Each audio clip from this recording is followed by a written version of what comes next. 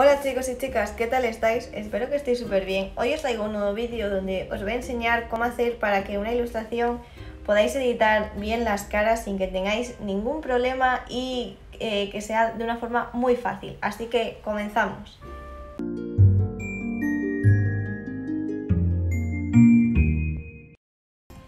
Bien, lo primero de todo es que no sé si os pasa que muchas veces como que lo tenéis todo en una misma capa o ya no podéis, eh, habéis como creado muchas máscaras de recorte y tantas capas que lo habéis unido todo, ¿no?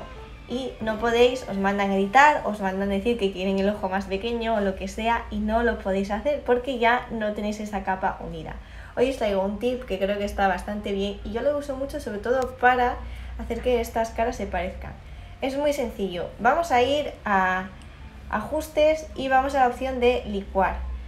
Aquí es donde viene la magia y creo que es, está muy bien. Lo que sí que tenemos que tener es mucho cuidado con, con lo que vamos a ir haciendo, pero básicamente vamos a utilizar mucho contraer, expandir y empujar, ¿vale? Si por ejemplo quiero que la boca sea más pequeña, bajo aquí el tamaño y lo pongo en contraer. Y como veis, voy a poder hacer la boquita un poquito más pequeña, ¿vale? Por ejemplo, si os dicen eso, imaginaros, vamos a volver para atrás, que os la piden al revés, más grande. Bueno, pues simplemente vamos a expandir y la boca, si cuanto más aumentamos, más se nos centra en esa zona. Así. Sería como más grande esa boca.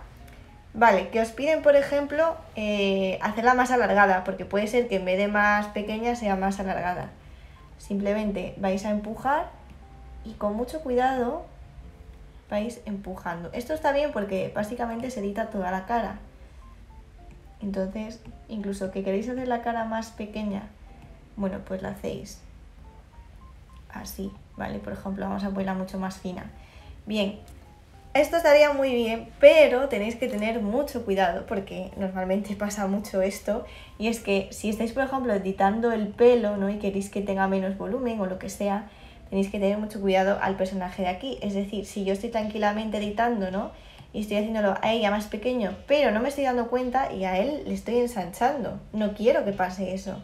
Entonces tenéis que tener mucho cuidado, volver hacia atrás y ponerlo más chiquitito o aumentar mucho de tal manera que tengáis que ver siempre que no esté afectando a vuestro personaje de al lado. Obviamente si esto lo tenéis bien organizado pues no vais a tener problema porque lo tenéis por capa. Pero en el caso de que imaginaros que no lo tenéis por, por capas y no tenéis ese problema, bueno pues puede que os pase esto. Así que tened mucho cuidado. Pero bueno, este es un tip que creo que está bastante bien, que creo que es una buena opción de utilizar la opción de licuar. Hay más opciones, pero estas son las mejores para modificar personas, así que espero que os haya gustado mucho el vídeo de hoy. Acordaos de darle un buen like, de suscribiros a mi canal y nos vemos muy pronto en un nuevo vídeo. Adiós.